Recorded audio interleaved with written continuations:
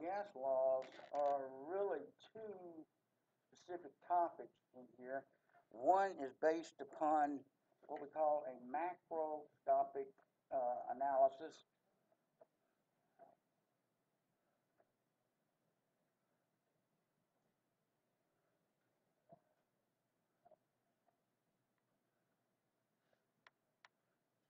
And the other one is the micro, M-I-C-R-O.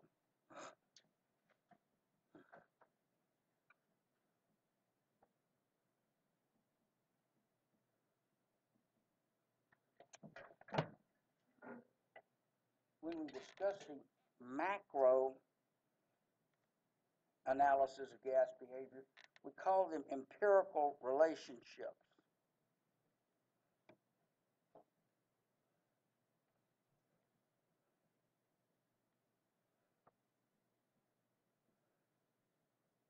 Nothing is said in the empirical relationships that we're going to develop and show you first about what the particles are doing. You have an intuitive idea heat a gas, you know the particles are moving faster and have more energy and so forth and so on.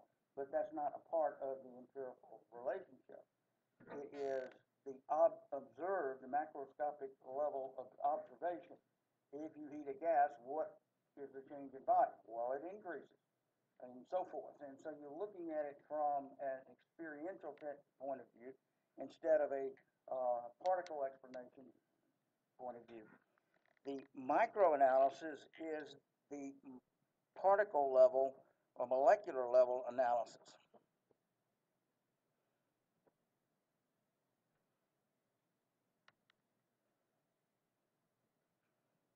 And this embodies what we call the kinetic molecular theory.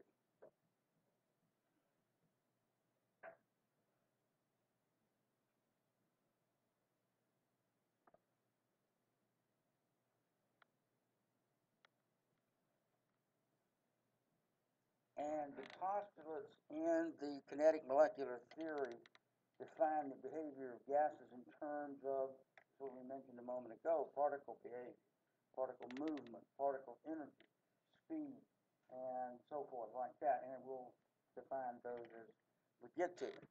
But the first effort in our coverage of gas laws is the macro, and we want to look at the empirical gas laws. Well, the focal point, the application of the empirical gas laws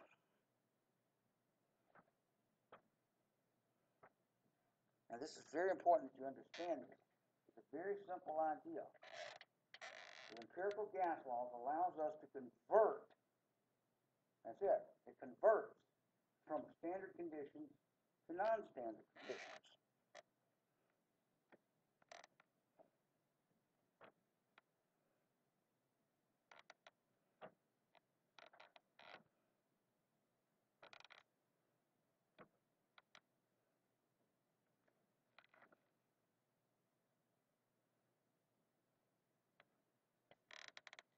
So we begin our work in gas laws by defining what we mean by standard conditions in the standard equation. And we mentioned it a little bit before. And so based on that, we can come up with certain conclusions about what the equation and the gases are doing. But of course, not everything stays at zero degrees Celsius and one atmosphere. So we have to convert to non-standard conditions from time to time. And how do we do that? We use the empirical gas laws. So I begin with the standard equation, just to repeat some things.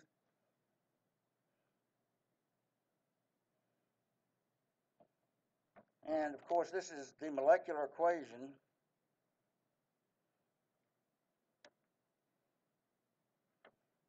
with balance to the smallest whole number ratio.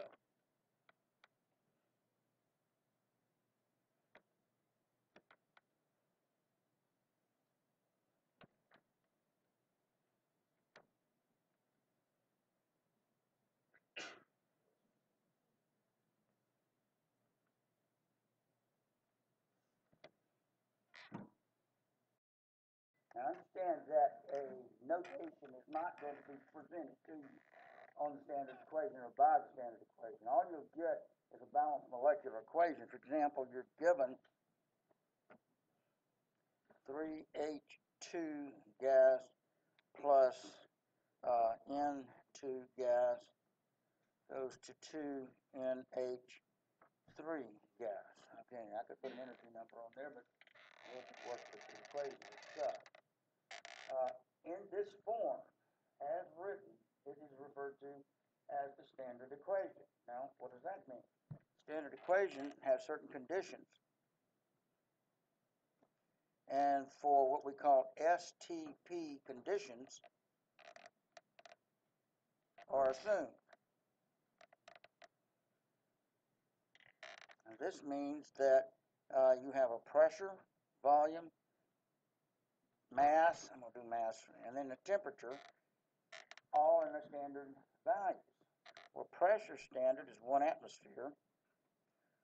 Volume, to come back to that, is, uh, uh, well, I'll put it in 22.4 liters, one mole, and temperature is equal to 0 degrees Celsius, which should be, and you'll see that this is standard. Convert everything to Kelvin, which is 273 Kelvin.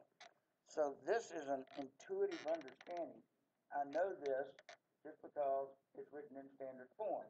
It's a molecular equation with the coefficients and smallest whole number ratio. So if nothing else is said about the equation, it is a standard form equation, and your mind says, okay, that's at zero degrees and one atmosphere, or generally STP condition. Now, for one mole of any gas under the zero degrees and one atmosphere, all of occupy 22.4. I said all gases. That is the standard molar volume for all gases at standard STP conditions.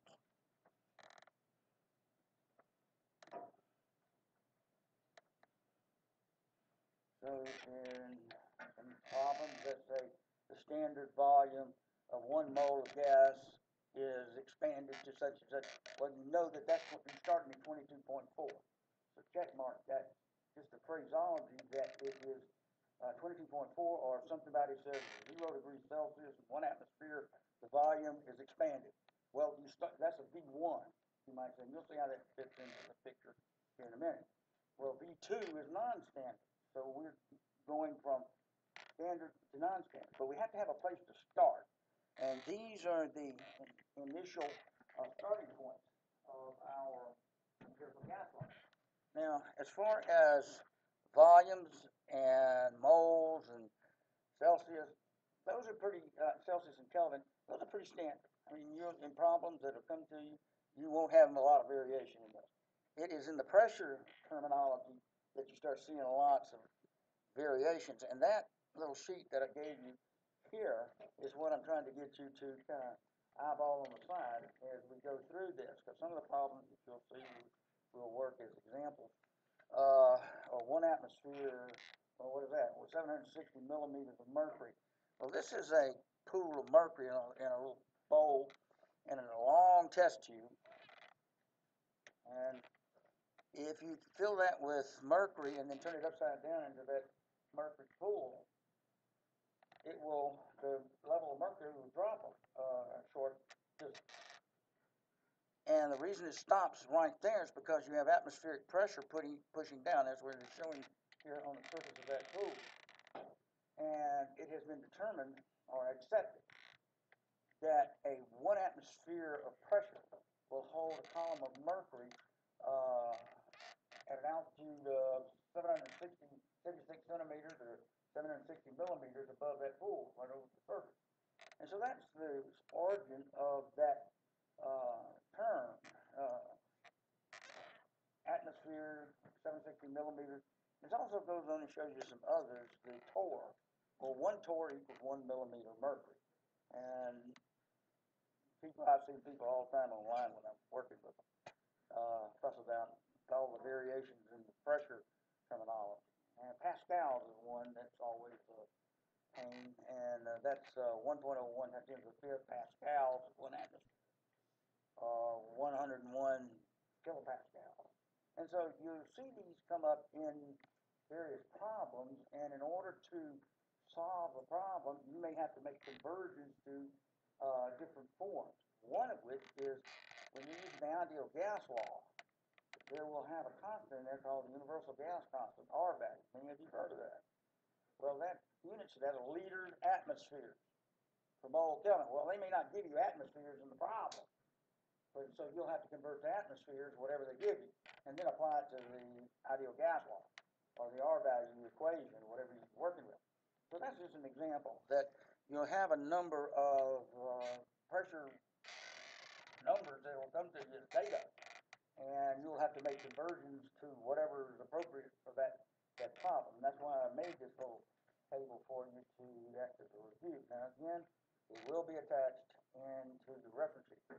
I can't promise that future teachers will do that, so you might commit something to memory. Let's say you're given, if I get the pen to start writing. Uh, say, give it the following equation, let's magnesium solid plus some two moles of hydrochloric acid aqueous will go to, I don't know, magnesium chloride, single replacement. That'll be a salt in solution, and we'll give off some hydrogen gas, like that. Now, what can we essentially say about the quantities, the quantitative values in here in terms of moles? Well, there's one mole, two moles, one mole, and one mole. Actually, I should put one mole of magnesium, two moles of hydrochloric acid, uh, one mole of magnesium chloride, and one mole of molecular hydrogen in. Okay? So that's an intuitive thing you already know. And we go on times formula weights of each one, and we get an equation there. Well, of course, we're talking about gas laws. What about VM, the molar volume? Well, without having any sub-notes, uh, you are supposed to say, oh, well, if this is what's given and that's all that's given, then I assume it's at zero degrees Celsius and one atmosphere.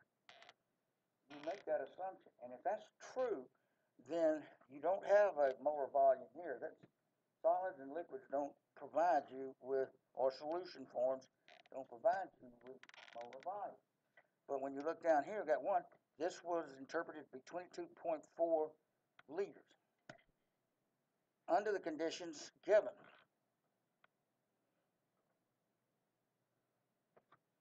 So you had a place to start in determining what a uh, value is just based on the equation written. No other data is given. Now you can try to apply the concept of uh, ratio and proportion to calculate volumes of gases generated in a reaction based on various quantities. Let's say this is one given. Let's say you're given 87 grams of magnesium solid and an excess of hydrochloric acid solution. And we've got more than need. Okay? What volume of H2 gas will be generated at zero degrees Celsius and, or at Let's do it at STP. You'll see that's fine. STP is the zero degrees and one atmosphere.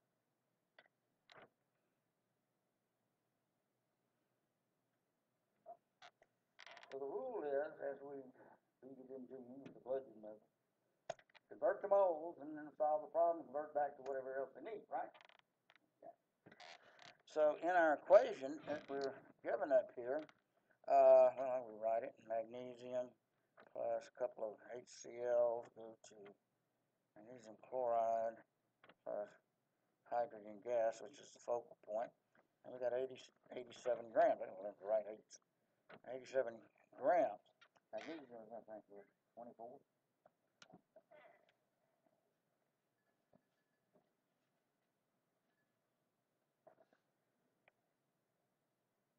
Twenty-four.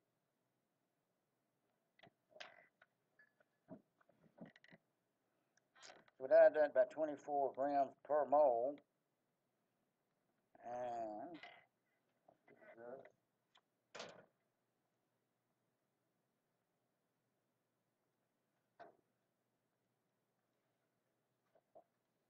Three point six three. Three point six three mole. Well, I've got one mole here, generating one mole here, then if three point six three moles is given, and I'm get three point six three moles over here of H two also. Everybody good? Yeah, pretty good on that. Now, one mole is twenty-two point four, because we've already established the conditions. Well, how much is three point six three moles? Yeah, three point six three times twenty-two point four, right? So we multiply times twenty-two point four, and it's like seventy point four liters. So the volume, STP of the H two gas is three point six three mole times twenty-two point four liters per mole. Those can cancel out. And that's it. Seventy point four. Seventy point four liters. Well, all the equations are based on that same idea. As long as you can remember its standard conditions, twenty-two point four is the magic number. But what if it's not at zero degrees in one atmosphere? Well, First of all, we don't call it standard anymore, we call it non-standard. That's pretty bright, isn't it? Mm-hmm. Okay. From standard conditions,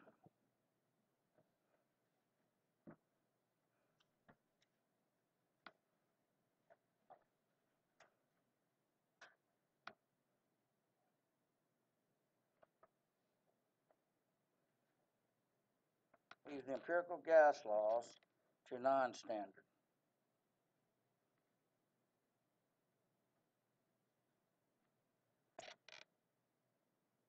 This is a case one, case two scenario type problem. Now, not all case one, case two go from standard to non-standard. You can have problems given non-standard catch set one, non-standard set two, but I'm using this, the standard gas law variable, zero degrees one atmosphere is the starting point. So just be, keep that in the back of your mind, that not all the problems will always start at standard, okay? Okay, so what are the empirical gas laws?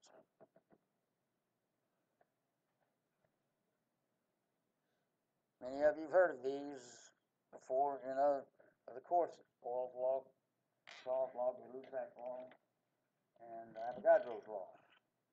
Uh, but it's knowing how to operate with these that is important. Make a list.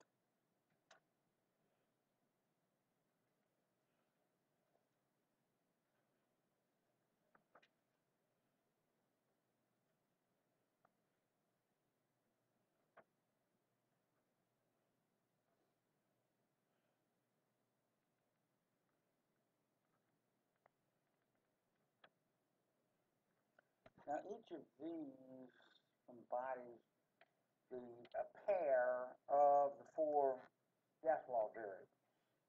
So we got pressure, volume, mass, and temperature, which have to be taken into account.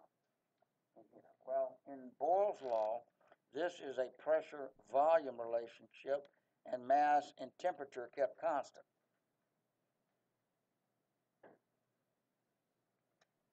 So we're only working with pressure volume here. And Charles' law, this is a uh, temperature volume relationship, and pressure and mass are kept constant.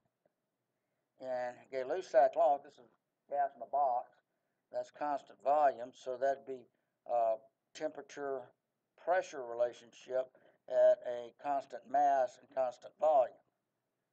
And Avogadro's law is blowing up the balloon, whereas the mass and volume relationship and your temperature and pressure are your kept constant in those relationships. Well, there are intuitively understandable. What do I mean by that? If I were to set up a hypothetical experiment to show you the relationship between pressure and volume, you could predict the outcome. Case one, case two scenario. Or temperature volume, I set up something, I show you what we're gonna do, you can predict the volume, most of you can, based on your experience so far, and that's what we're gonna do.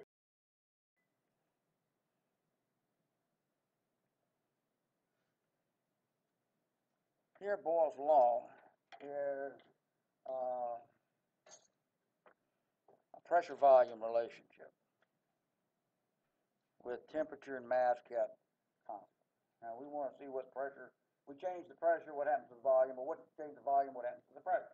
We quote it either, either way. So way we do this is we say we take a little cylinder and put a piston in it,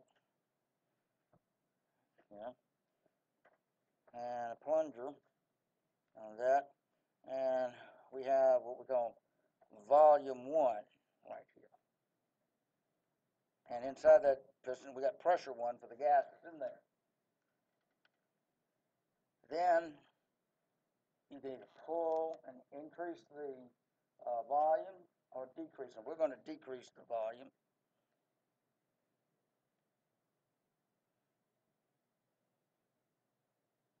And we're going to push that piston down to that position right there. And so now we have a new pressure at a different volume. And this is squeezing the balloon type of idea. So if we have pressure 1 going to pressure 2, what can you say about pressure 2 in relationship to pressure 1? Is it increased or decreased? Increased. Everybody kind of on that? When you squeeze the balloon, it's going to push back on you. Well, that's fine. But it pushes back because you've increased pressure, the per unit area. So we're pushing down, and that piston's going to be pushing back on it. So we have an increasing pressure. Okay, what did we do with volume 1 going to volume 2? So from volume 1, we went up or down in absolute volume. Did volume increase or decrease? Decrease. Okay, so we have a decreasing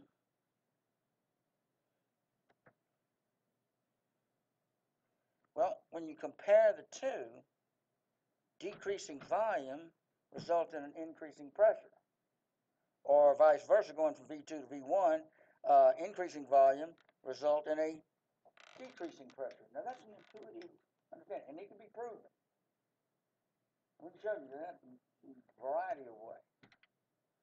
Well, this is called an inverse relationship, and the way it's couched is in that proportionality like that. And that's an inverse proportionality.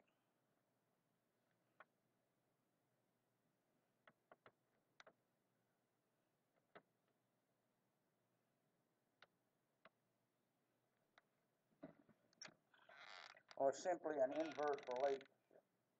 If you have two variables, x and y, and you increase one and the other one automatically goes in the opposite direction, decreases.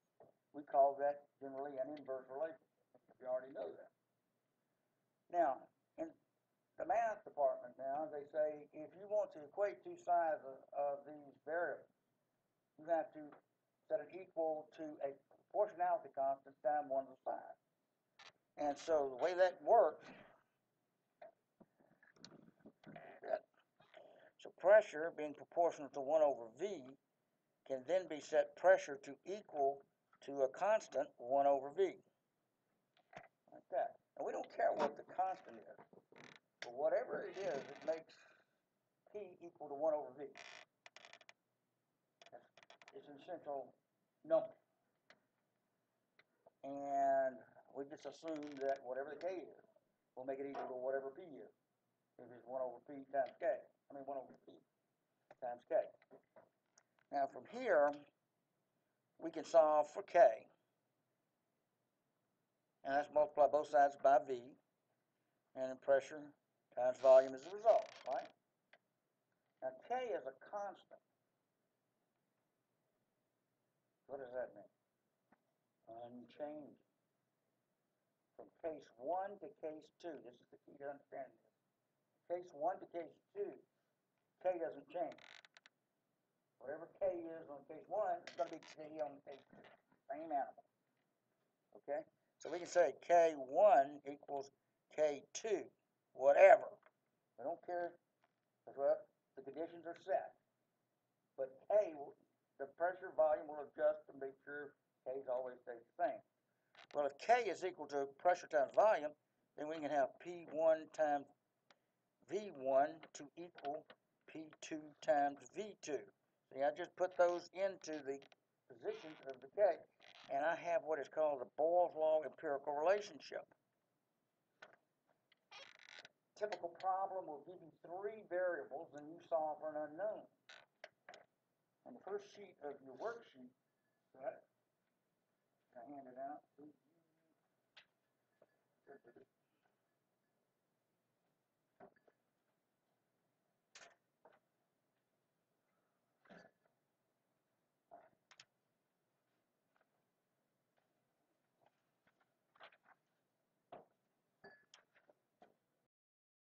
Okay, well, I'm gonna just pick a couple, I'm gonna start with number one, and as we go through some of these, I'll work a couple of them, and that's about it. And you work the rest of them as you go along. Okay, it says, one liter of a gas at standard temperature and pressure is compressed to four hundred and seventy-three milliliters. What is the new pressure of the gas? Now, we'll find out that this is a shortcut. I tell everybody, when you have a gas law problem, a gas law variable problem, empirical gas law problem, write your data down in the following way. Pressure, volume, mass, and temperature. And make that set one. Now, two of them are gonna be constant, I, I understand that. Two of them are gonna be variable. And then come over here, pressure, volume, mass, and temperature. Now, all of your empirical gas law problems can be set up like this. PVNT, PVNT. Now, most of them won't say anything about the mass, so you can probably leave that out a lot of times. And so, let's read it again. One liter, okay, so volume is one liter. At standard temperature, hmm, okay, that's zero degrees Celsius, uh, 273 Kelvin. And temperature and pressure, so that's one atmosphere, one atmosphere, fore and after. See, temperature and pressure are not going to change. It's the volume, uh, wait a minute, wait a minute, I did change it. One liter is compressed to V2 of 473 milliliters. Ah. New pressure is what we got to find out. That's what we want, sorry. Okay. What's the new pressure? Well, mass is constant. I should spell it out. So if these are going to be constants, then we just ignore them right there. And you'll see how that, how easy this is later on as I develop this. Okay, so we got P1 V1 equals P2 V2. And it's looking for V2, so you solve for V2, divide both sides by P, P2, and so we have P1 V1 over P2. Now you can substitute into that. Now another way to do this is as follows. V2 is what we're looking for, uh, P2, excuse me, I'm sorry. P2 is P1 V1 over uh, V2, sorry about that. Anyway, uh, another way to deal with this is P2 is always equal to P1 times the ratio of the variables you're changing. Ratio. Now, let's look at what happened here. Now, this is really important because when you get to the combined law, it, this will make a world of difference in how you, how you work the problem. You're going from one liter to, that's a thousand milliliters, to 473 milliliters. Is that an increase or decrease in volume? That's right. Okay, that's what happened. What do you expect the pressure to do? you decrease volume. It's gotta go up, guys, there ain't no other option. It's squeezing the gas down to a smaller volume, makes pressure, it's an inverse relationship. So expect increasing pressure. Yes? So if you have a P1, P2 has got to be bigger or smaller? Bigger. That's right. And you got two options to make it bigger. I'll show you. And it's a volume ratio. You could either set up 1,000 over 473 or 473 over 1,000. See the volume volume relationship? Which one's going to make P1 bigger? 1,000 over 473. That's right. That's, that's consistent with the empirical relationship we, we derived. You would not, certainly not use that based on the problem specification. And so when we substitute 1,000 over 473, and, well, let me put the V, that's V1 over V2. And so P1 is one atmosphere, and then we had 1,000 uh, milliliters, if you want to do it that way, over 473 milliliters. You got to keep your units constant. I hope that. And so I guess they came up with 2.11 atmosphere, which is consistent with the expected outcome of decreasing volume, increasing pressure based on the, the data given. Okay, the highest pressure ever produced in a laboratory setting. Golly. No, it's- these are ridiculous. I don't got to go into this. Uh, let's see. Well, do number five. Heck, number five. I changed my horse. Atmospheric pressure on the peak of Mount Everest can be as low as 150 millimeters of mercury, which by which is why climbers need to bring oxygen tanks for the last part of the climb. If the climbers carry 10 liter tanks with an internal gas pressure of 3.04 times 10 to the fourth millimeters of mercury, what will be the volume of the tank of the gas when it is released from the tanks? Okay, it's going into the atmosphere. Now, how did I tell you to set this up? You go P, V, N, and T. It's a Boyle's law, so you know N and T are going to be constant. And then you have P, V, N, and T. Just do it like that, and then extract the data as needed, and appro put it in appropriate places. So this is the Boyle's law problem. We know those are going to fall out. So it says atmospheric pressure on the peak of Mount Everest can be as low as 150 millimeters. Well, we want to assign that to 150 millimeters mercury. Okay, I'll do that. Is why climbers need to bring oxygen tanks for the last thing of the climb. The climbers carry 10 liter tanks. Hmm.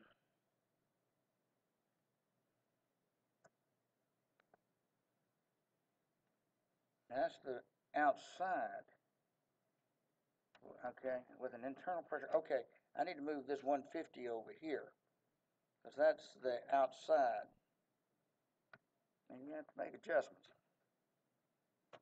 Okay, now the pressure in the tank is given 3,040 millimeters.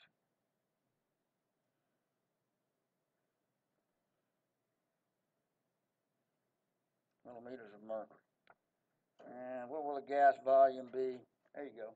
Once you extract the data and decide on who's case one, case two, then from there, it's pretty easy. Okay, what's happening? We got a decrease. So what do we expect? Increase or decrease in volume? Come on. If the pressure decreases, goes from 340 millimeters, which is in the tank, and expands out into the atmosphere, it goes to 150 millimeters. Is that an increase or a decrease? Well, it's a decrease. Well, what do we expect the volume to do? Increase or decrease? Certainly, it's a big increase. So we don't need these. We, we put increase on. So I'm going to use whatever ratio I have to expand that ten liters It's either going to be one fifty over thirty forty or thirty forty over one fifty times whatever the initial volume. Are you getting to see what I'm driving at there? See? Okay, okay. So you can use P one V one equals P two V two, you know. And we're looking for a new volume. And so that'll be P one V one over uh, V two, like that. There's still a ratio which will uh, keep getting my letters mixed up. here. V two is V one onto uh, P one over P two. Now it's straight.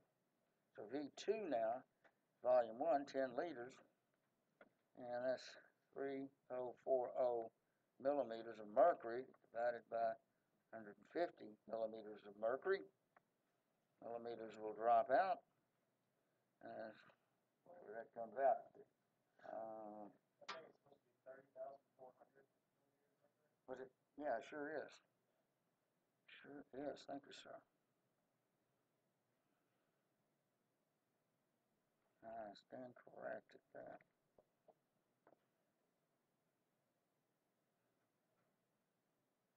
And so that's two times ten to the third. So that's two thousand liters. So it's a matter of applying the variable to the uh, empirical gas law. Okay, I need to run through, now, I started with Bo- Boyle, I don't have a Charles law or Gillies, I have a, but they're all done the same way.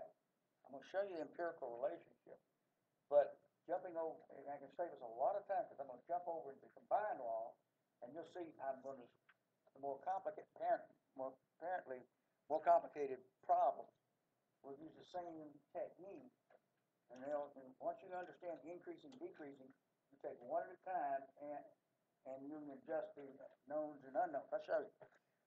And let's just go to Charles law. wait a minute.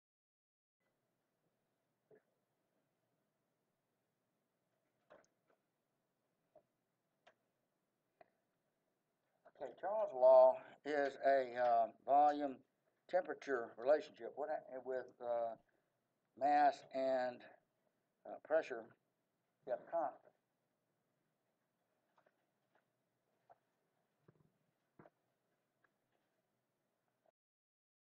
volume temperature relationship, we do the same thing here. We have a piston going to case one to case two. But this time, we're going to have a candle under it before heating and then after heating.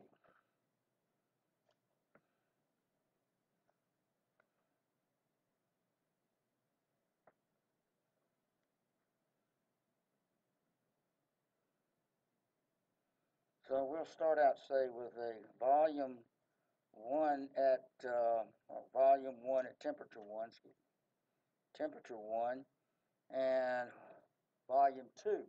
So going heating, what's going to do to the gas? Anytime you heat a gas, it expands. That means its volume is increasing. So for, from here, we're going to say go up to here, volume two and so temperature too. So increasing temperature increases volume. So that is a direct relationship.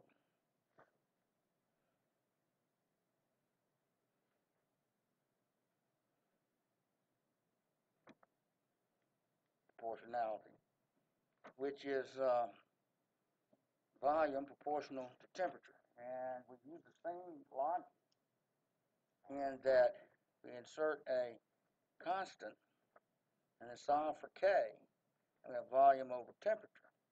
And of course, K1 equals K2, and ultimately V1 over T1 equals V2 over T2. And there's your Charles Law empirical relation. So while it's a direct proportionality, increase one, increase the other, The empirical relationship winds up as a ratio.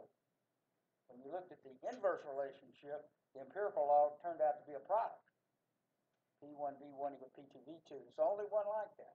All of their others are ratios. Volume, temperature, volume, temperature. Now, that should be easy enough to remember. Then you decide on, extract your data, put it into the equation, and adjust your initial volume to the second volume based on increasing or decreasing temperature. Use your ratio to increase the V1 or the ratio to decrease V1 based on what you're empirically doing to the uh, gas. Okay, Lussac law is a pressure temperature. What happens to the pressure if you increase or decrease temperature with constant mass and constant volume? This is the gas in a box. So if we have a confined gas box, it'll have pressure 1 in here uh, at, say, temperature 1. And so we're going into uh, same box, pressure 2 at temperature 2. So if we have pressure 1 uh, going in, uh, increasing, say we're increasing, uh, I want to do temperature. I'm sorry, sorry, sorry, sorry. I should be doing temperature 1. If we increase in temperature, temperature 2, then what happens to pressure? Well, obviously it's going to increase. I get my act together. Increasing. So increasing temperature uh, increases pressure. Pressure cooker, gas in a box. This is a direct relationship, so pressure is directly proportional to the applied temperature. And again, we make pressure equal to K times T. And then solve for the K, which is the same for either case 1 or case 2, is equal to P over T. And if K1 equals K2, then P1 over T1 equals P2 over T2. And there's your Gay-Lussac empirical relationship. Pressure, temperature, pressure, temperature. And real easy to remember if you just pay attention to what they deal with. You got to know that anyway. So here we have volume 1, and so say we're putting in more mass, moles or mass, or however you want to look at it. This is volume 1 with, let me do it this way, volume 1 with mass 1. And so we increase the mass, volume's got to go up. So uh, N1 to N2, say we're increasing, volume 1, we go to volume 2, it too is increasing. So if we blow up the balloon and we're adding more mass to it, obviously it's a direct relationship. So N is proportional to volume. Put in your proportionality constant, K, and solve for K, and we have mass over volume as a relationship.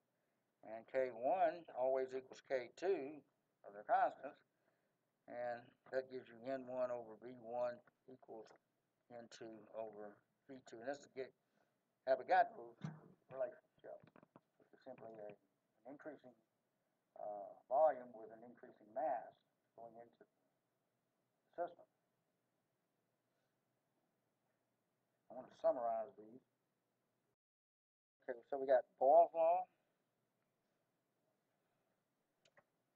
Come on down here, Charles law. Okay, Lussac law.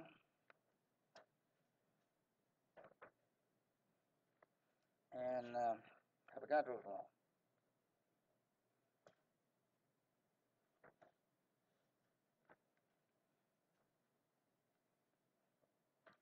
This is a pressure-volume relationship. This is a temperature-volume relationship. This is a um, pressure-temperature relationship, and this is a mass volume relationship. Of course, the other two variables are kept on. Now, and this is the only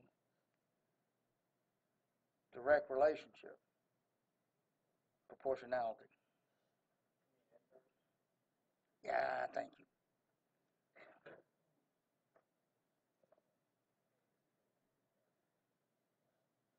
Yeah, keep me honest. So if we have an inverse relationship, that's going to be a product, 1, 1, P2, V2. All the others would be ratios of those variables. T1, you can T1 over V1 or V1 over T1, doesn't matter, as long as you keep both sides consistent. Here's a pressure, temperature, 1, 1, pressure, temperature, 2 and 2, and then you have mass, volume, mass, volume, 1, 1, 2, and 2. So you have all of the relationships. All you have to do is extract the pressure, pressure, volume, uh, mass, temperature, case 1 going to pressure, volume, mass, temperature, case 2. Substitute whatever you have. It's constant, and of course it's not going to be put into the equation. This is only two variable empirical. What happens if you combine all these? It's called the combined law.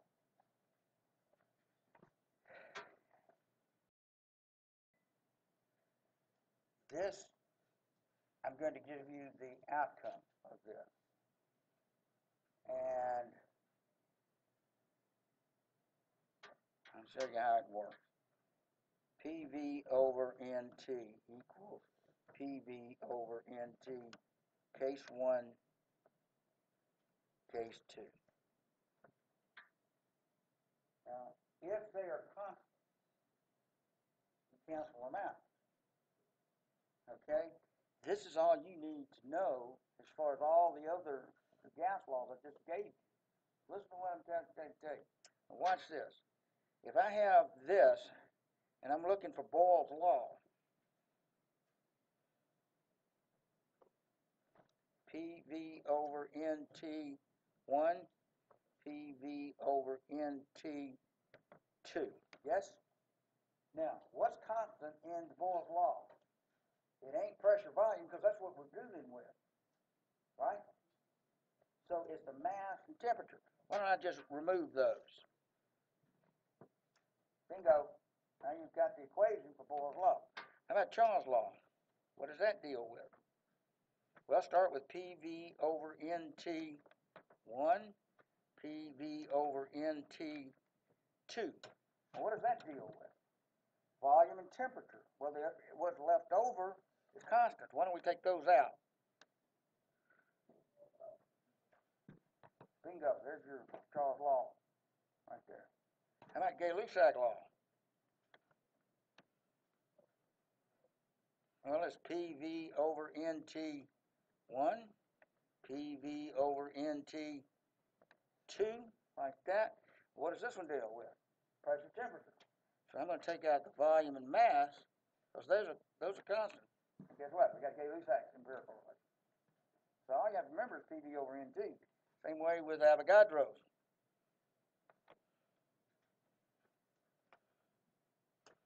PV over NT equals PV over NT 1 and 2.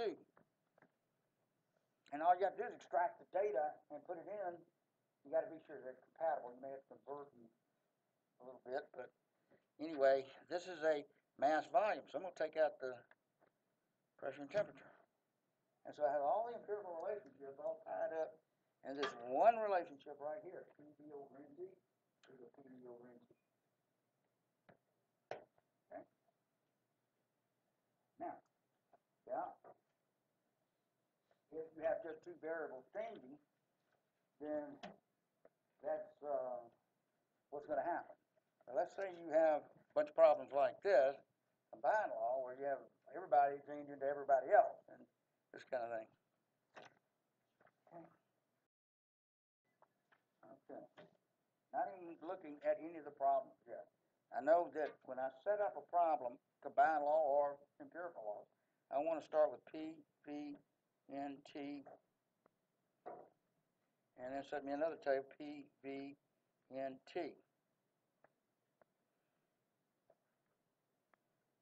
Now extract the data and substitute it into the table appropriate to whatever they're asking for. And sometimes you may have to switch back based on what they're telling you.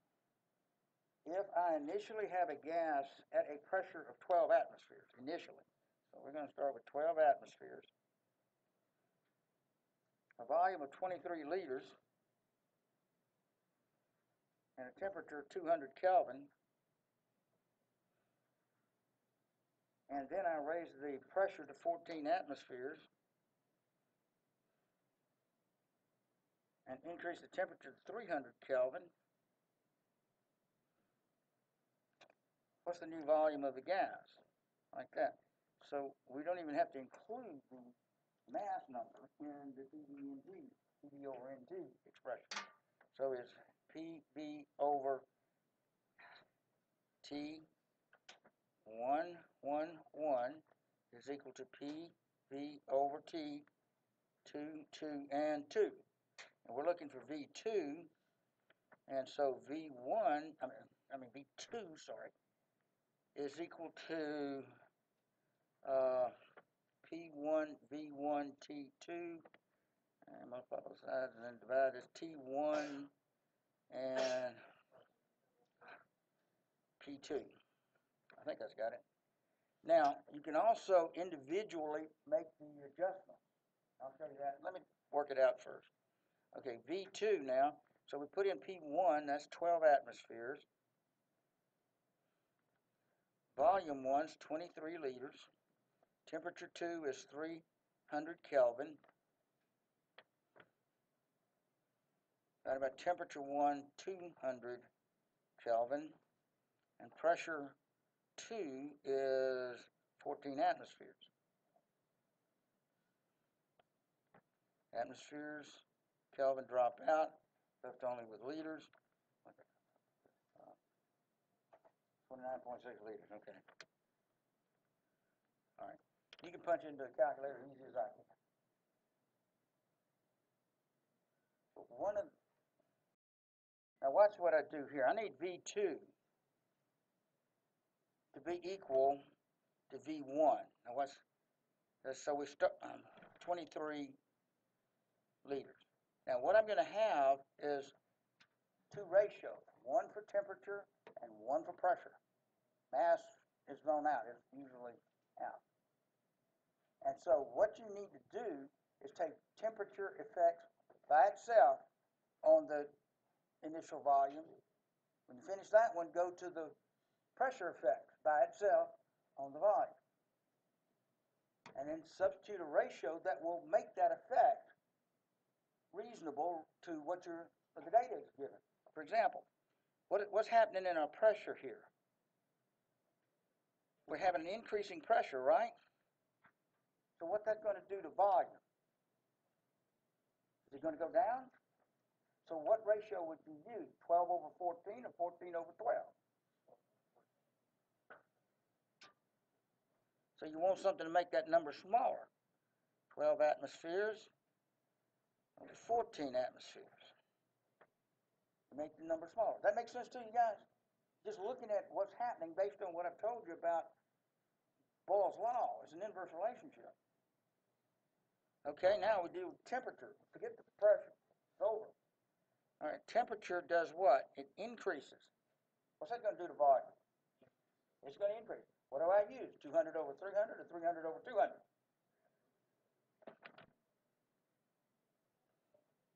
That will, in fact, make that number bigger. And if you compare it to what we did up here, you'll find it gives you the same number. But you're checking your work as you go through it and making sure it conforms to the ideas. Remember, there's only one inverse relationship, that's law. Everybody else is direct. So you can say increase temperature, what am I going to do to volume? Uh, it's got to go up, so I got to use a ratio of temperature that'll make my volume go up. Okay, here's my pressures. It goes up, I got to use a ratio to make it go down. See the point? Think about it.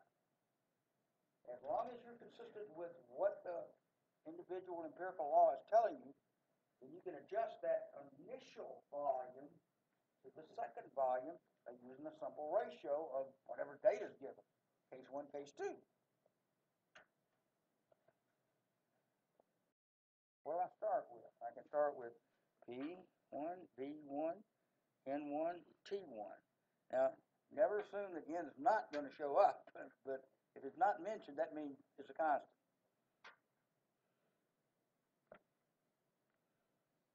So, all right, reading the problem. If I have 17 liters of a gas, all right, so I'll start with 17 liters of gas at 67 degrees Celsius. Now, one of the things in all the empirical gas laws, always convert your Celsius to Kelvin. Because the standard is zero degrees. You don't want to find yourself dividing by zero. They say that's illegal. So convert everything to Kelvin. So let's add 273. That's why I put it on the bottom. Here's your 10, 14, 340 Kelvin. All right, what else I got? And the pressure of 88.89 atmospheres.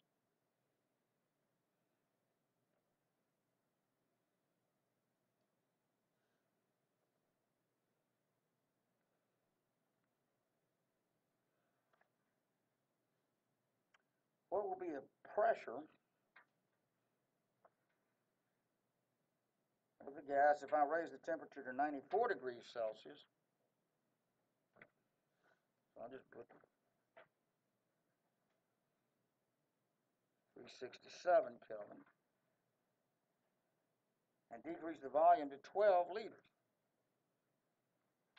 Okay, so we can take volume 2 is equal to volume 1, 17 liters, and our pressure temperature ratios to make them change according to whatever the empirical laws tell us. So our first effort is change in volume. What's that going to do? So we have decrease in volume. What happens to pressure? Goes up. So uh, I have to have a 17 over 12 there.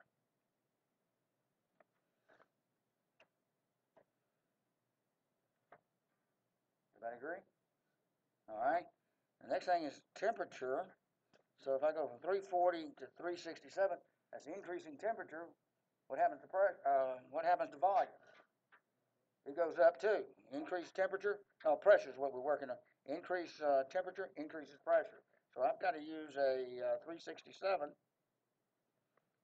Kelvin over 340 Kelvin and cancel those out. And that tells you more intuitively what's going on. Now you can still use P1 V1 over T1 equals P2 V2 over T2. Solve for P2 and that's P1 V1 T2 over T1 V2. But it matches exactly what we did here. And you can mentally check and be sure your work's done correctly, whatever that uh, new volume is, or the pressure. Uh, what am I doing here? I've got to get my brain straight. I'm sorry, 88.89 atmospheres. Duh. And so that goes 136 atmospheres, supposedly. Hopefully that will fit. Anyway.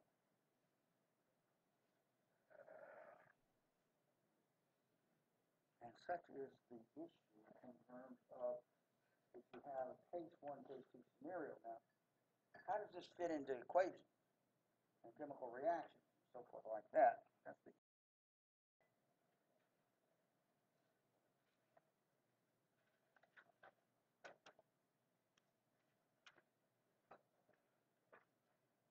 Okay, here's the problem.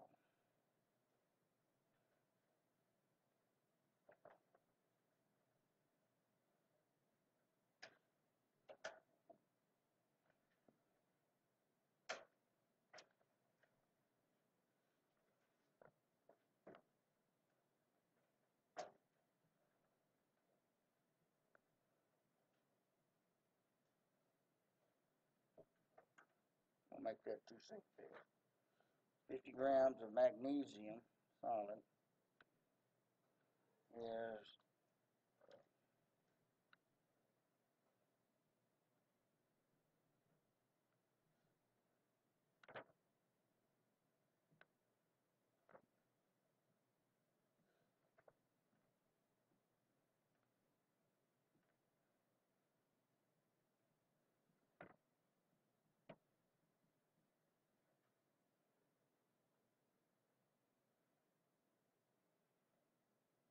what volume of hydrogen gas will be generated when 50 grams of magnesium is reacted with an excess of hydrochloric acid aqueous solution A at STP conditions.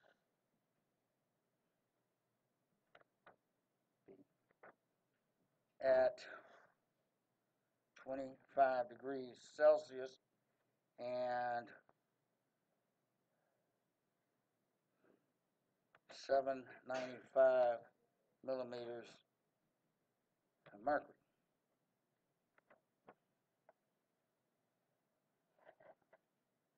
So you got one at one set of conditions, and then what will be the volume of H2 in the second set based on this?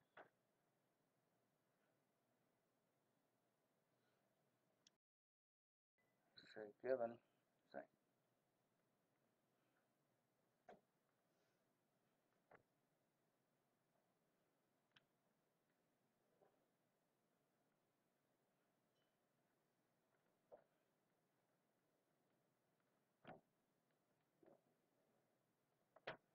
Right there, and so what we're doing is we've got fifty grams right here. Okay, and we need to find out how many moles of hydrogen we're generating and convert it to volume, right? Okay, so about about twenty-four grams per mole.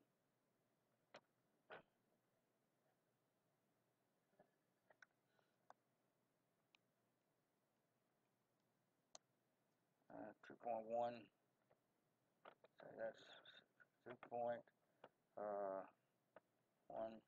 mole of magnesium, and it's a one-to-one ratio. Will give you two point one mole H two gas. Everybody still with me? Alright. Now, at STP now, at zero degrees Celsius and one atmosphere, what can we say about this equation?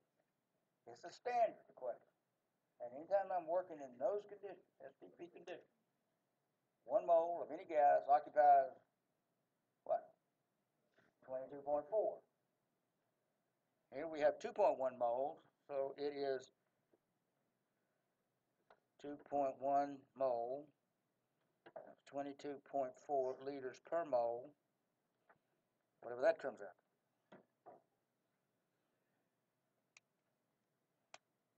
46, 47,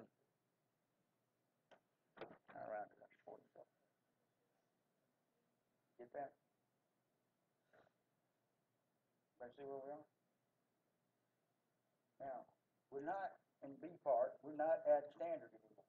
So what do we gotta do? We gotta adjust to twenty-five and seven ninety-five millimeters, okay? Remember what I tell, how you set these up now. This is our setup. P, uh, part B, this is.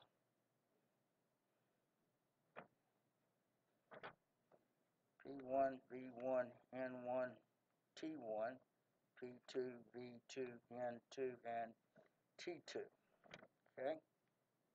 what volume, see, we're going from there, and we know we've got 47 liters, excuse me, 47 liters, because that's at STP. So we're really starting with standard and then converting to the non-standard. See what I said? Starting with standard, that's why I put it in here, to show that we have a starting point, and then we're going to something new. Over here at V2.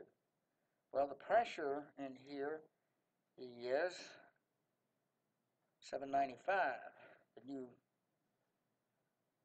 and we've got uh, 25 degrees Celsius at 273, that's 298 Kelvin. Over here, we're at STP, that's what I gave. So, what is the millimeter STP? 760, right.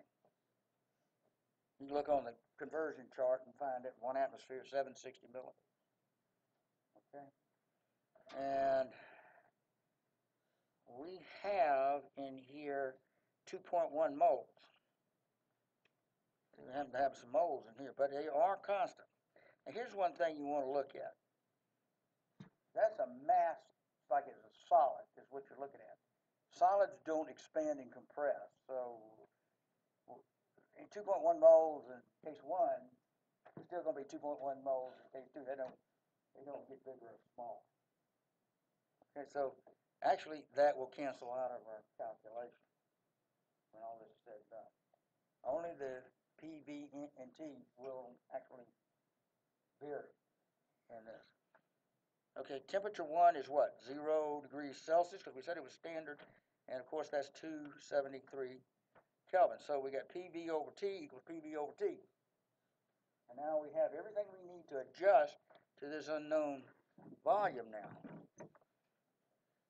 So V2 now is equal to V1, 47 liters, and we need temperature pressure ratios that will up and down the number. Yes? Okay, so I got 47 liters, and I'm going from 760 to 795. That's an increase in pressure. What does volume do? Go down, so I've got to put 760 over 795 to make that 47 go down. Now, we're through with that one. We go to temperature. So we go 273 to 298. Increasing temperature, what happens to volume? Increase or decrease? And so we would use a ratio that would increase the initial volume. Yes? That make sense? Hopefully. So that would be 298 over 273 Kelvin. And that would be your new volume in liters. You can punch it in any way you want. I mean, that's a problem. It's correct. And you can still use PV over T equals PV over T case 1, 2. Solve for V2 and it'll do the same thing.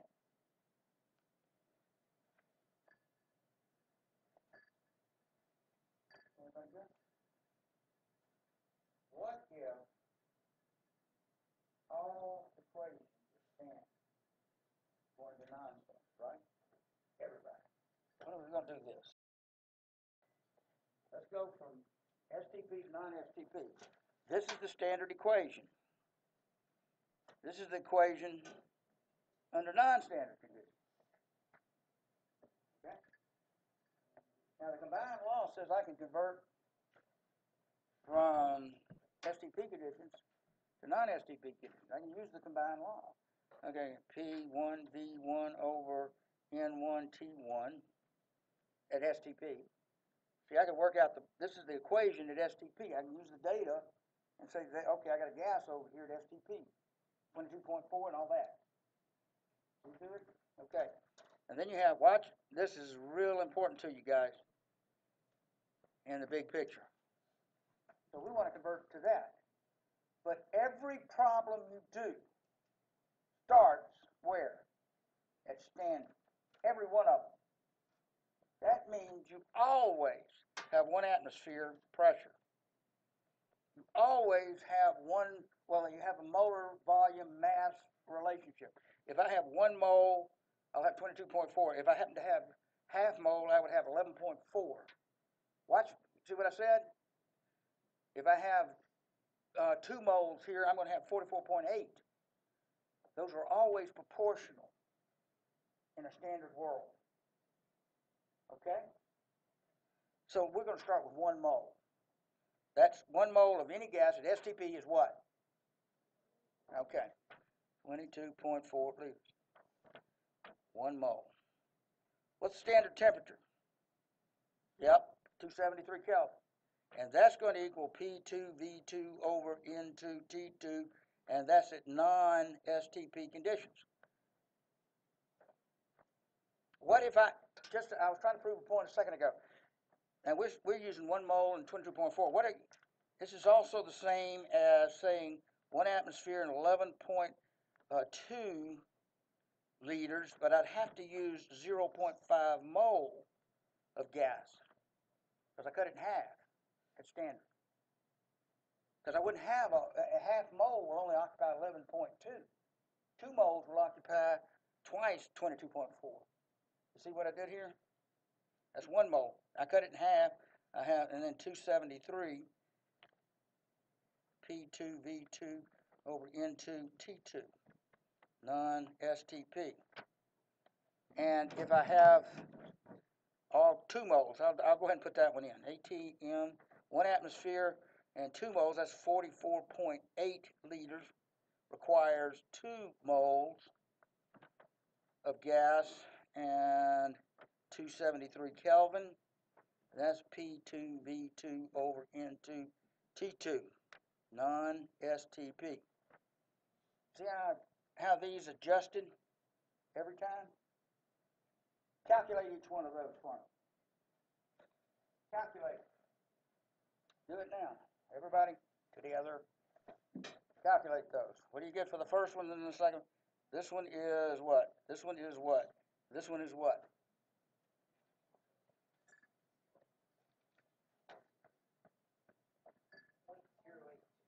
That's right, zero point zero eight two oh six.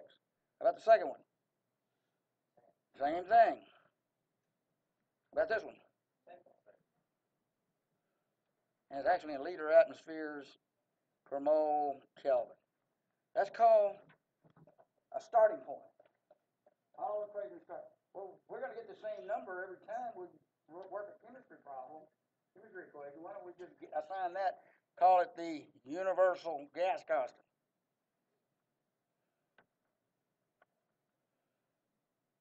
And we're going to say that's an R. And that R is equal to P2 V2 over N2 T2, non-STP conditions. And then we put it in appropriate form, PV equals NRT, where that's the STP conditions, and PV, N, and T are non-STP conditions. You don't even need to do the STP calculation, because you're always get point zero eight two oh six.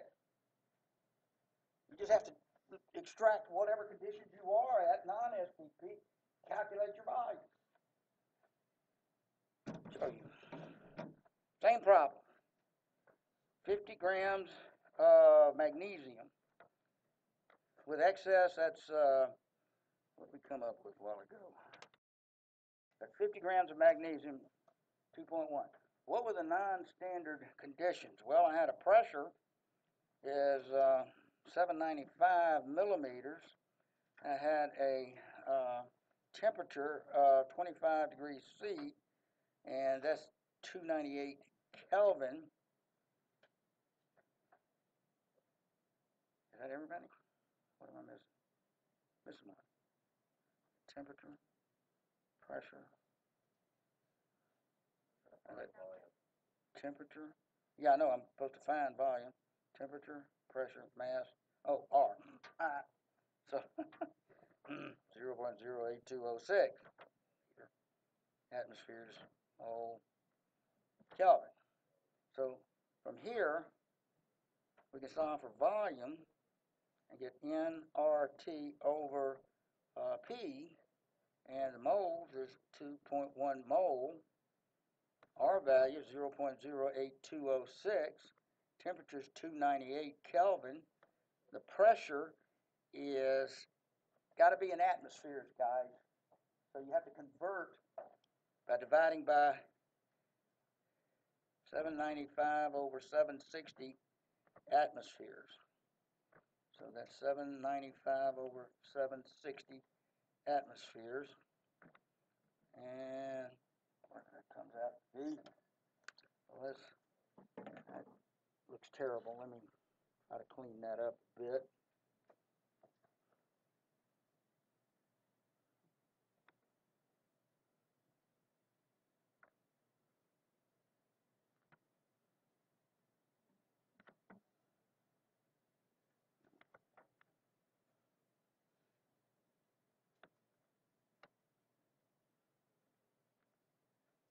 Yeah, that's correct. So there's one. Right now. So we, instead of working PV over T equals PV over T, standard to PV over T, we'll work R equals PV over NT. And that's the ideal gas law. And you can apply that to all equations that you do. All right, let's take fifteen minutes, come back, and, uh, we'll work some problems. Okay, guys, if you will get this worksheet, it should be in that packet. I ask you to download. And this is a series of problems showing you the progressive application of the ideal gas law relative to uh, going from standard to non-standard conditions and applying some of the principles we talked, talked about. Okay.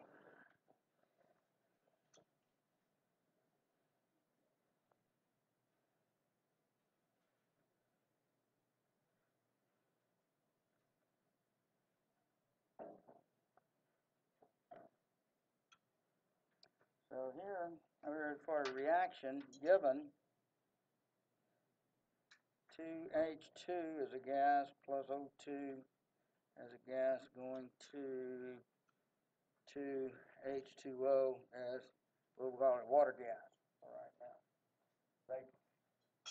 How many liters of water can be produced from 5 liters of oxygen? Give you 5 liters and we'll call that an excess right there. And they don't say anything else. Okay, well, we're working off of a standard equation here, so you, you can either go moles to moles. Now, yeah, you just simply double the thing, because it says 2 to 2, 2 to 1, okay? Well, let me show you how it fits in with the uh, standard equation and the standard molar volumes here. Uh, convert to moles. If you're given a, a liter of value, how do you convert to moles? Well, if you're at standard condition, you divide by 22.4. Well, each 22.4 is one mole, so we have 5 liters divided by 22.4 liters per mole. So how many 22.4s do you have in the volume given is what the problem is saying. So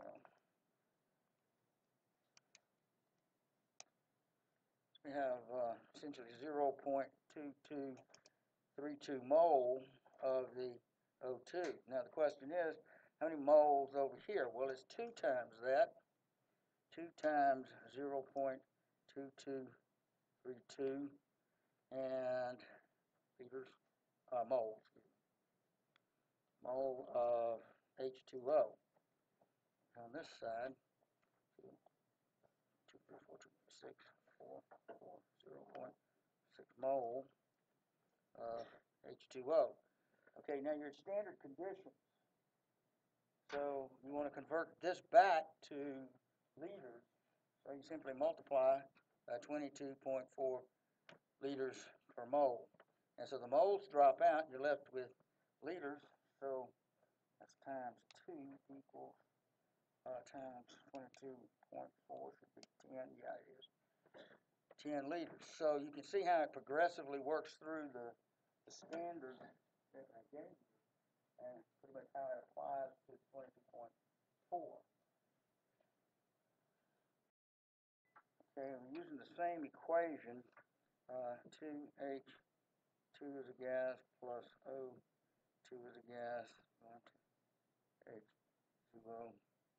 Yes, how many liters of water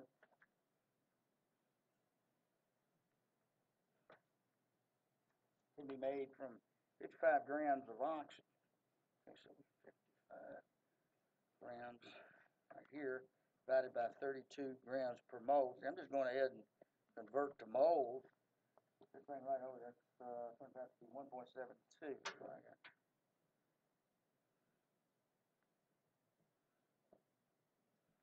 mole of O2. Well, 1.72, well, this would give you 2 times 1.72 over here in water. So 2 times 1.72 mole H2O.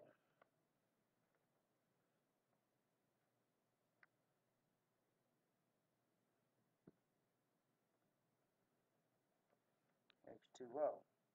And it's at, at STP. Well, you just times 22.4 liters per mole.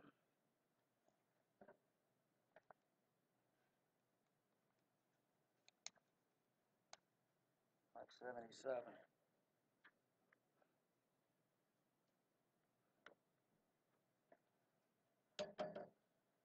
Uh, Out of that one.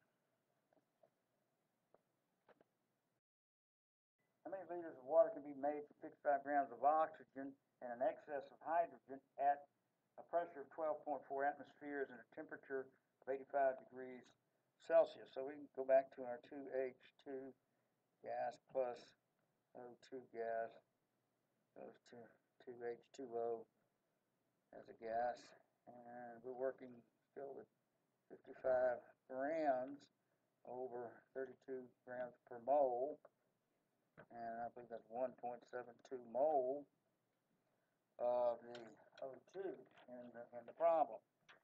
Okay, and of course, that's going to give you two times one point seven two mole of water, H two O here, and that's a three point four four mole H2O at twelve point four atmospheres and eighty-five degrees Celsius. Okay, now we can use the ideal gas law, PV equals nRT. Now you recall, when you're getting a bunch of data on a chemical reaction, and these of course are not standard conditions, then all of the variables in this expression are non-standard. Pressure, volume, temperature, and mass are non-standard. The only thing in there that's standard is R value. Well, it's gonna come out zero point zero eight two oh six every time. So if I solve this for volume and work it from whatever I'm getting, see, ma the moles is, I got three point four four mole of water. I've got zero point zero eight two oh six liter atmospheres over mole Kelvin, and the temperature 358 Kelvin. Divided by, look like twelve point four atmospheres. Atmospheres drop out, kelvins drop out, moles drop out, and we're left with liters. And so, using the ideal gas law to convert from standard conditions to non-standard.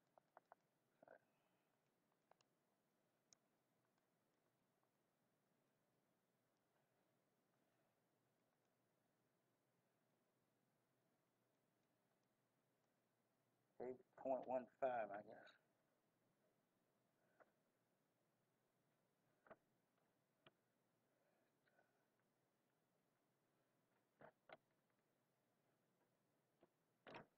So now you see how you start transitioning into that uh, P equals nRT if the conditions are non-standard. So you look at the problem and say, okay, is it zero degrees, uh, or one atmosphere, or not?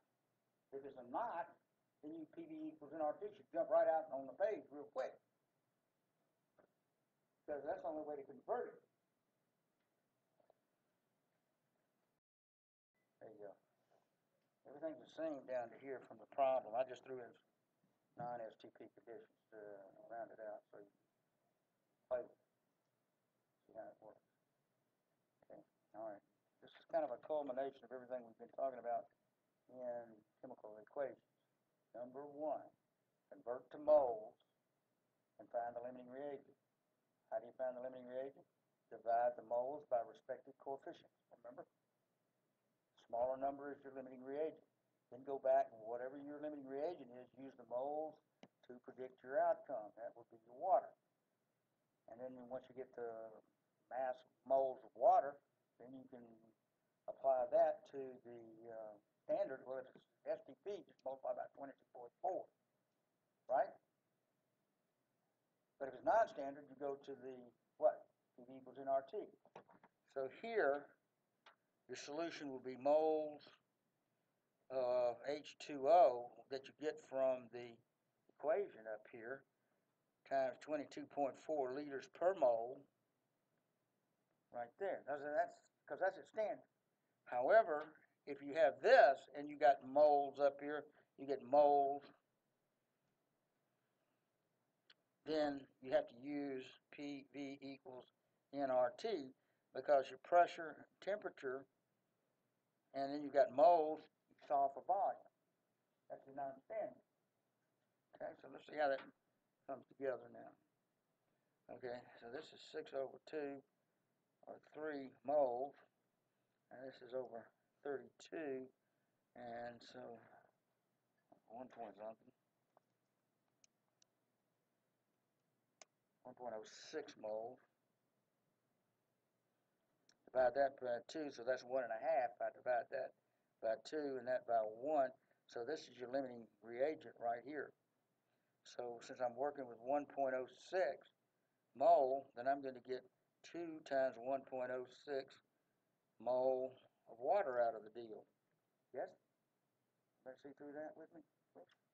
Okay, and so that's 2.12 mole H2O generated. Getting kind of crowded in there, but now we'll come down here.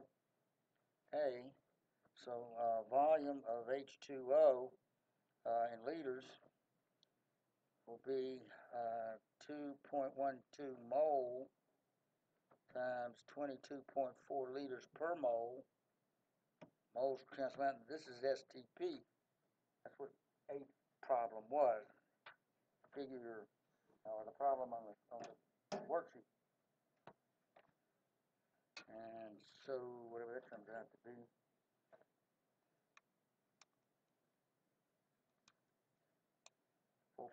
Forty-seven and a half. Five liters. B now needs to be, we need to use the PV equals nRT. Here, PV equals nRT, because we have these conditions right here to deal with. And so volume is nRT over P. So the moles is still 2.12 that we calculated from the equation right here, from the data given. And 2.12 of H2O gas, that's water vapor. Uh, R is 0.08206 liter atmospheres over mole Kelvin. Uh, temperature, I say 25 degrees. I lost it. Yeah, yeah. 25 degrees C. That's a kind of a gimme. That's 298 Kelvin. And what else we need? And the volume's unknown. Oh, 798. The pressure is 798 millimeters divided by 760 millimeters per atmosphere. I've got to do that because the, the R value is in atmosphere, so we have to keep, stay, keep the pressure converted into atmospheres if we're going to use an R value in that form. R value, if you look in the back of your chemistry book, they have a table of constants and stuff in the back. They'll have R value that'll show up anything from 8.314, yeah, 8.314 kilojoules per mole Kelvin. and so you'll find all kinds of, you know, conversions for the R value, and, and we'll use them in, in the course of the, this course. But right now, 8 point, 0.8206 is the number of choice right here. So let's see what that. That's uh, 1.05 atmospheres. 0.05. Alright, so I'll come up here. So for volume is nRT over P. I got 2.12 mole, 0.08206 liter atmosphere mole Kelvin, and 298 Kelvin divided by 1.05 atmospheres, and that's your volume at non-standard conditions. So hopefully you'll study these four problems critically in terms of, well, I mean, STP, I got to just work around S22.4. But if I'm not STP, I got to work around PV equals nRT. See what I'm trying to get you to learn? So you have to study that. Look at the difference between standard and non-standard. See what I get out of.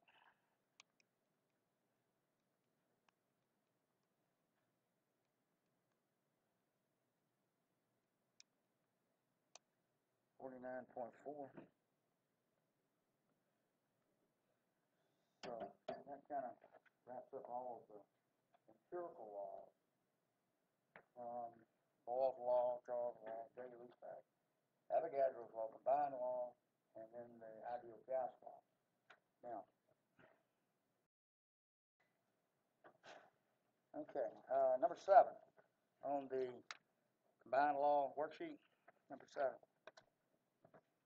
If I have twenty-one liters of gas held at seventy-eight atmospheres at temperature nine hundred Kelvin, so that's P, V, and T. One, one, one, P, V, T. Mass is not a issue here, so I have twenty-one liters, seventy-eight atmospheres, nine hundred Kelvin.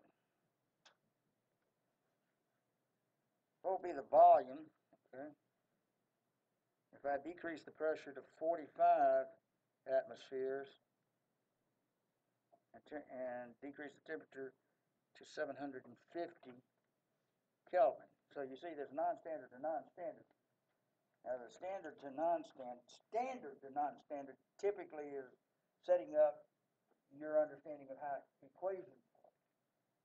I'm trying to show you that, well, we don't need to do an STP calculation, PV over NT, because it's always zero point zero eight two oh six. But some problems don't work like that. Some of them, they calculate the volume from non-standard set of data to non-standard set of data. That's what this is. Now, mass is constant. It didn't mention it, so you assume it's constant. So that'd be P1 V1 over T1 equals P2 V2 over T2, and 2, believe it or not. So V2 now is V1, and we'll need a pressure temperature ratio that will be T2 over T1 and P1 over P2 when everything's said and done, so that the adjustments will be consistent with increasing and decreasing based on the empirical laws. So what are we doing here? So V2 now is V1, 21 liters. And so we use the temperature first. So we're decreasing temperature. We decrease volume. Yes? Temperature, volume, increase temperature, increase volume, decrease temperature, decrease volume. So I need a fraction. 750 Kelvin over 900 Kelvin. Okay, I'm through with temperature. Now I go to pressure. So I go 78 to 45. I decrease pressure, so I increase volume. So I need a bigger number. So I need a 78 atmospheres over 45 atmospheres. That still fits with the combined law. And you saw for your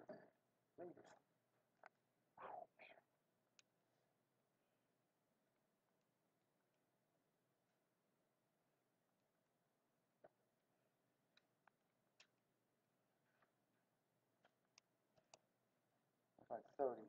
It's like thirty. So it's, so you will see a non-standard to non-standard. Be sure you're, uh, sharp on that and uh, be able to set up the data table. And if it's not going standard to non-standard, you gotta use the PV over T. PV over NT, will drop out. Please study those enough examples that you can develop your skill if you'll just apply yourself to the problems I've given you in these worksheets. Density and molar mass from the ideal gas law, you find that, you get that in front of you. Density and molar mass from, uh, from the ideal gas law. I'm gonna start with the density problem.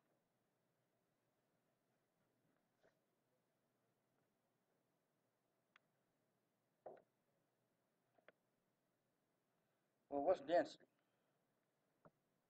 It's mass, See, in this case it's going to be grams, over volume of the gas in liters, okay? So we have to kind of squeeze that out of the ideal gas law, is what we're, what I'm telling you we're going to do. So starting with the ideal gas law, PV equals nRT, the issue in deriving this issue is right here. And what is the meaning of the N in this expression? Well, that's mole. And that's uh, mass in grams over a formula weight, which is, of course, grams per mole.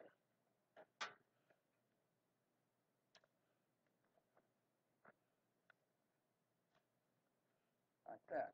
So what I'm going to do is I'm, I'm going to use M for mass, if you'll accept that, over F weight and go from there. So this now is mass over F weight times R times T.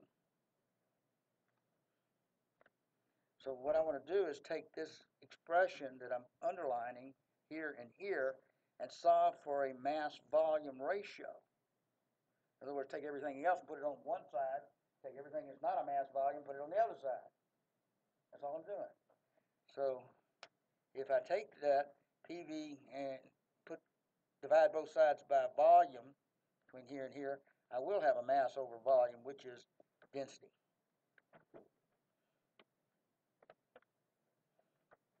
So everything else got to go to the other side. So if I got, got rid of that, then uh, formula weight, pressure times formula weight, grams per mole, over R times T. And that's mass volume ratio, and that's your density. Okay, so PF over RT. Pressure times formula weight over RT. And everything's got to conform to the R value units, so you want to keep that in mind. All right, out of this, we want to simply get formula weight out of that ratio that we substitute for the N value. That is, if PV equals nRT, and that's mass over formula weight, then what we're looking for is to substitute that into the N expression and solve for F, F weight. So that is equal to mass over formula weight, mass in grams RT, and we take the PV and MRT over formula weight, solve for formula weight, and so that would give us formula weight equals mass, that over just a little, mass times R times T over uh, pressure times volume. So there's your expression for that one, and for density, just to repeat it, is pressure times formula weight over R times T. You can't derive them, memorize them. Plug and chug. What's the density of carbon tet, carbon tetrachloride at 714 torr and 125 degrees Celsius? Well, one torr is a millimeter, so that's also 714 millimeters, and divide by 760, and you get atmosphere. Okay. So number one on here, uh, density of C- CL4 uh, at 714 torr and 125 degrees C. Well, 714 torr is equal to 714 millimeters, which equals 714 over 760 atmospheres. See your handout I gave you at the beginning of class. And that's uh, 940.94 atmospheres. All right, that's your pressure. Uh, got a temperature, 125 degrees C, 273, 398 Kelvin. So I'm just move that over here, 398 Kelvin. So uh, carbon tetrachloride formula weight is carbon plus four chlorides, 12 plus 4 times 35, that's grams per mole. four, twelve, and fourteen, and twelve, two, four, one fifty-two, one fifty-two, uh, grams per mole, if I didn't misfire on that. Okay, so that's PF over RT, we've got everything we need, density equals PF weight over RT. Pressure is zero point nine four atmospheres. Remember, that has to be compatible with the R value. Formula one fifty-two grams per mole, divided by zero point zero eight two oh six liter atmospheres, mole Kelvin, okay? And the temperature, three ninety-eight Kelvin, so Kelvin drops out, moles drop out, uh, atmospheres drop out, we're left with grams per liter, that which is the appropriate unit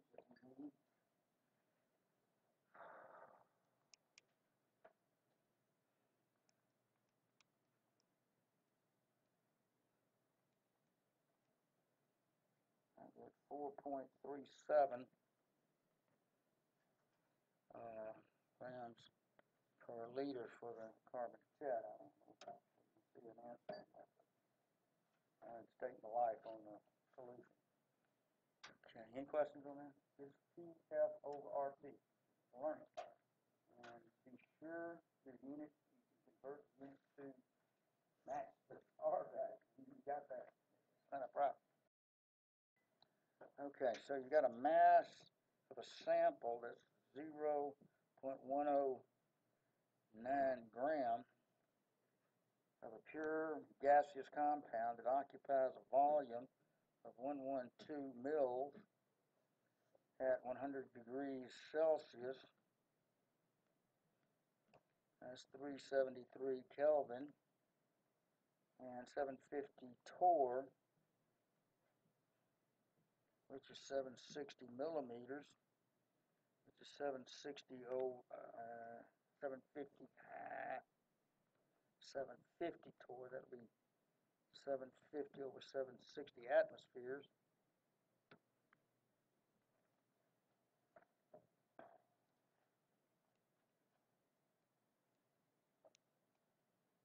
Point nine eight seven, I don't know if that.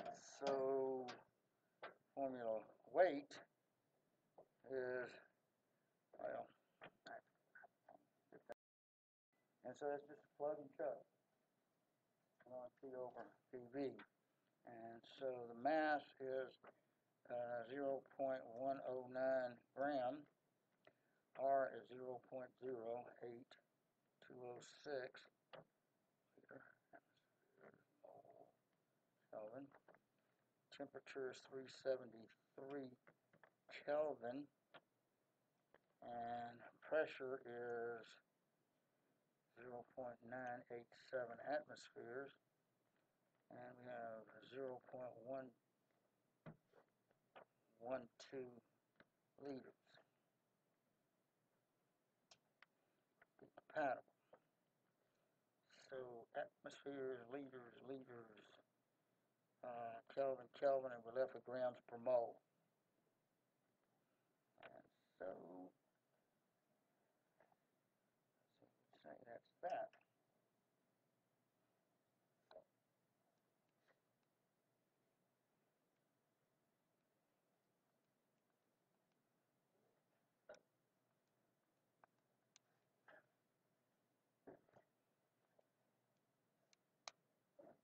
That's like thirty point two.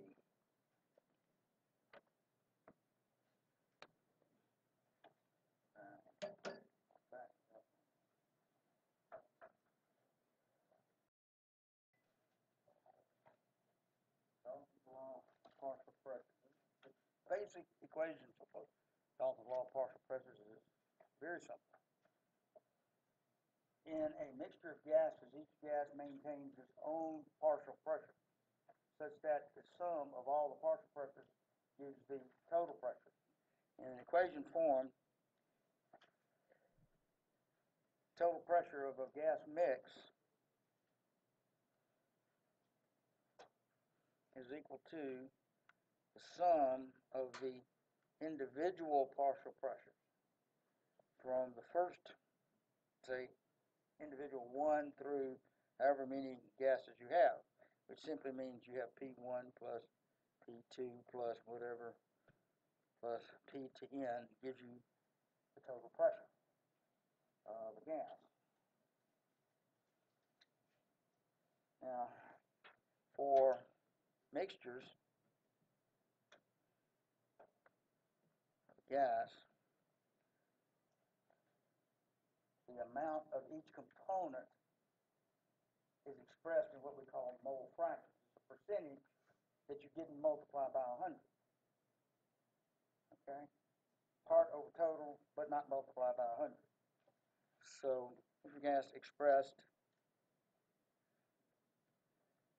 uh, in mole fractions. A mole fraction is given a symbol x for a given component, I. If you have a mixture of, say, water vapor and CO2, you'll have a mole fraction of, percentage of it will be CO2, percentage of it will be water vapor. But instead of expressing it as a percentage, you express it as just a decimal fraction. And that's a mole fraction. And that's simply the moles of the individual component divided by the sum of all the individual components. Just all it is, part over total, and do not multiply times hundred. Now, with this, uh, this is the total moles, so that would be Ni over N total. Like that, so all the moles in there. Now, if we look at the ideal gas law, PV equals nRT. Solve for N in that, you have PV over RT. Clean that up. Right here. If you solve for the N. Now, if you take N as an individual and N as a total, what you'll have is a PV over NT for the individual over PV over NT for the total. Like that. Well, it turns out that the all the gases, say all of these gases, P1, P2, P to N, whatever, are all in one volume. So you have a constant volume, whether it's individual or whether it's uh, the total. Uh, for the individual moles, you have a certain number of moles. So the temperature is, is the same. The N total,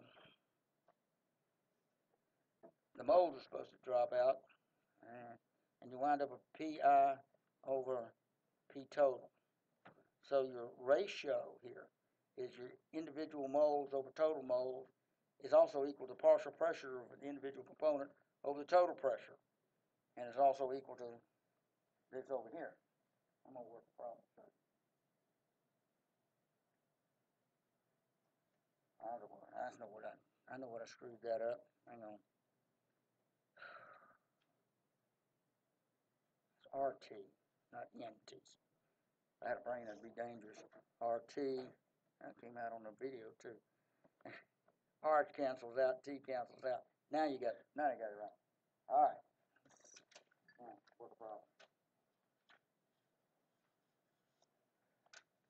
Number one. It's right, right here. So if you've got that in front of you, then I can meet this.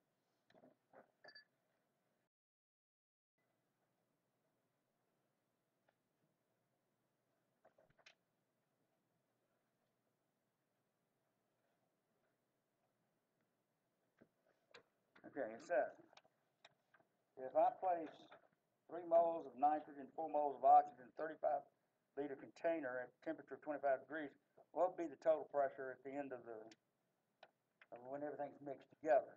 So picture's worth a thousand words. So we have three moles N2 gas mixed with um, four moles O2 gas, and that's at 35 liters and 25 degrees C. What's the total pressure?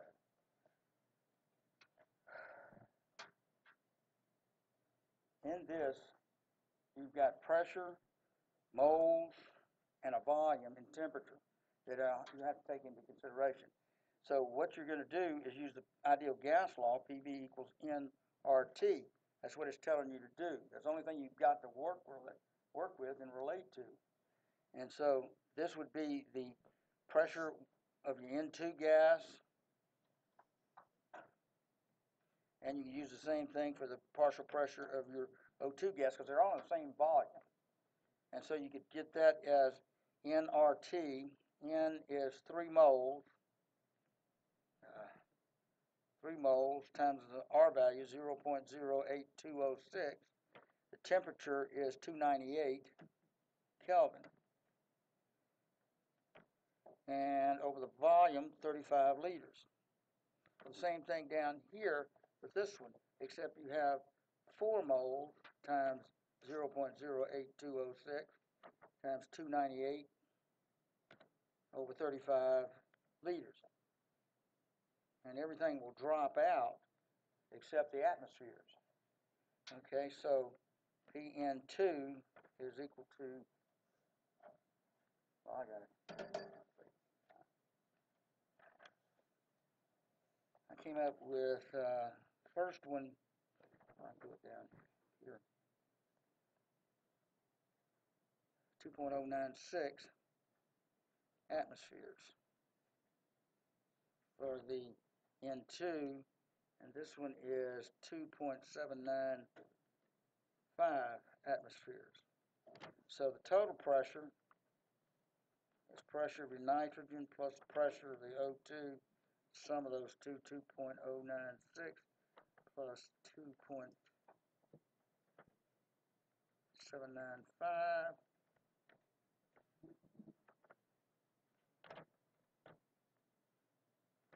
And the verdict is four point eight nine one. But based on the data, you've got moles, temperature, uh, volume, and the only thing it lends it to is PV equals nRT. So you're getting the uh, pressure of whatever each one is based on the data given. Yes, sir. And this, you've got, uh, say, two bulbs. One that has five liter volume and another one has eight liters volume. You have O2 and N2. And they're connected by stopcock in the middle, like that. So, uh, conditions are 0.75 atmospheres measured and 1.25 atmospheres measured.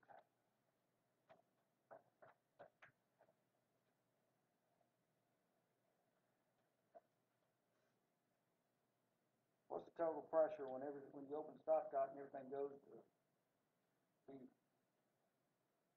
Okay. Well, all you have is a volume and a pressure. And so you can calculate the pressure volume relationship before for nitrogen and your pressure volume for uh, oxygen, like this one. Uh, what's the final final volume? All right, you have a P1 V1 over here. You have a P2, I mean, yeah, a P1 V1. Let's do it in oxygen and nitrogen. Oh, I got to do one and two because I got to one and two, one and two.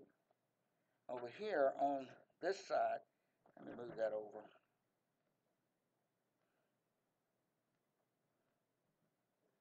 Move this over.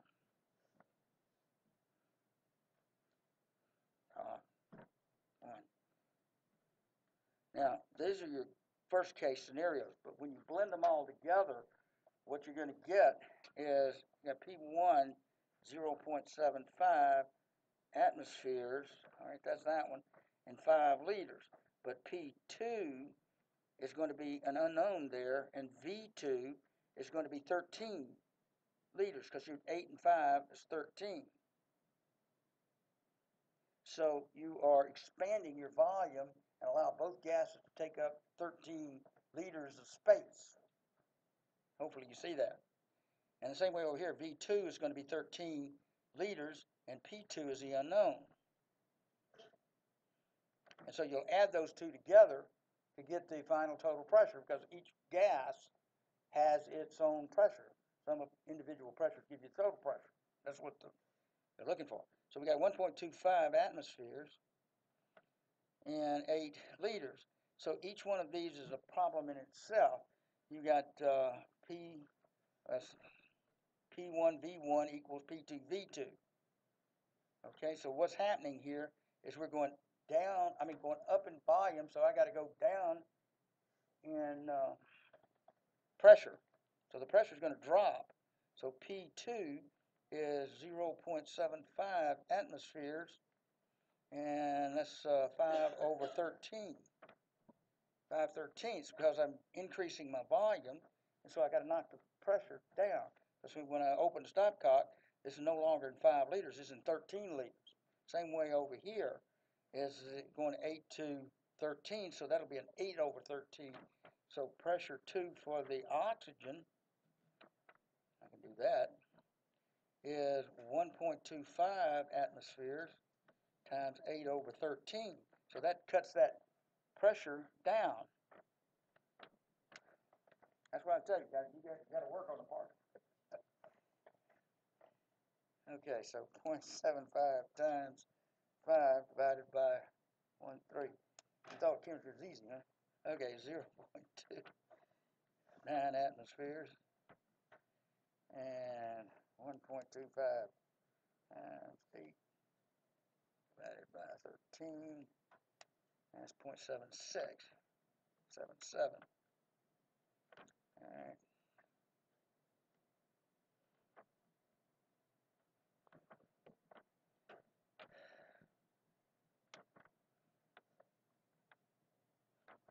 So you add individuals, because you're gonna have a mix now. And then seven sixteen, eight nine ten, one point oh six atmospheres. Be your final one. I think exam problems will be very simple. Okay, you just got to be critical and work some of these out on, and if necessary, I can work some more tomorrow. Others. I got this thing. Uh,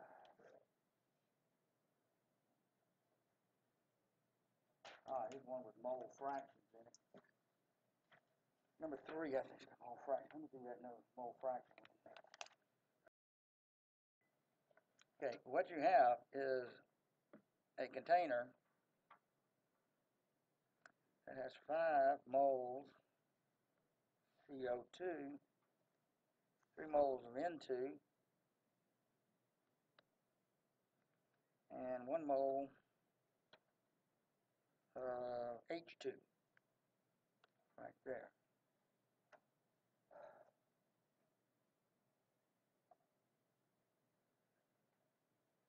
What the, I'm trying to think of a good way to tell you this. Simply put, the individual partial pressure is the mole fraction of that individual component times the total pressure. Because what you I showed you earlier that X individual is PI over P total. And uh, I took the ideal gas law and solved for substituting your ratio. I'll do that again. And so that's PV over NT I over PV over RT, RT total. That's where I screwed the first one up. Okay, volume, volume, R and T's drop out, and so we're left with I over P total. And you see, you can solve for PI by multiplying both sides of that. That's where that comes from. So if I've got the total pressure, which is given, at one point, what? One point oh five atmosphere. I'm tired too, guys. Hang in there. Okay, you gotta get the mole fraction of each one. Well, the sum of the moles, five, six, seven, eight, nine, so you got nine moles total. So what's the fraction of CO2? Five over nine. What's the fraction of N2? Three over nine. What's the fraction of H2? One over nine. Okay, so those are your mole fractions. It's a percentage, but you don't multiply by hundred. So now they're asking simply for the CO2. Partial pressure of CO2 is a mole fraction of CO2 times the total pressure. All right, the mole fraction of CO2 is 5 over 9, whatever that comes out to be, 0.556, 0.56. Okay, so we put that here, and the total pressure is given there, and so our answer is 0.556, 1.05 atmospheres. That's strictly. Now you could do the same thing for the other two.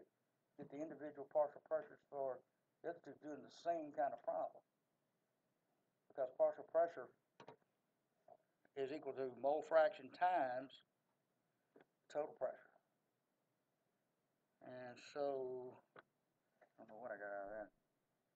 0.584. So that's the answer to what they're asking for. But you could go on and calculate, uh, partial pressure of N two would be the mole fraction of N two times the total pressure. And if you want to get partial pressure of H two, that's mole fraction of H two, which is one over nine times the total pressure. All of them have the total pressure, same total pressure. One point oh five is the total pressure. And so what would this one be? That one would be three over nine times one point oh five atmospheres. That would be the partial pressure there. And the partial pressure of H two, like that, one out of nine of one point oh five atmospheres. Okay. I'll open up the lab in fifteen minutes and it won't take me long to do the demo. I gotta set it up mainly I want to show you how to operate a bunch of That's really I want to.